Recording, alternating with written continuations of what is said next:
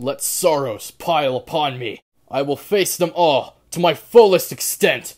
I am the undomitable Thunder God!